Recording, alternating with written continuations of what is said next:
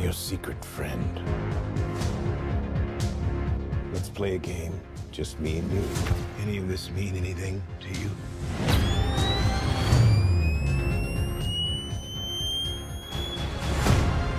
If you are justice, please do not lie. What is the price for your blind eye?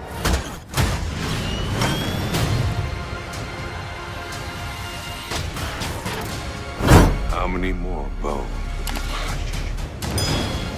The hell are you supposed to be?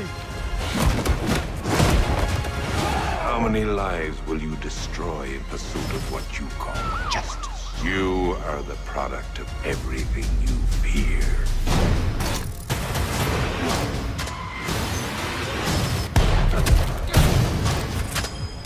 You're part of this too.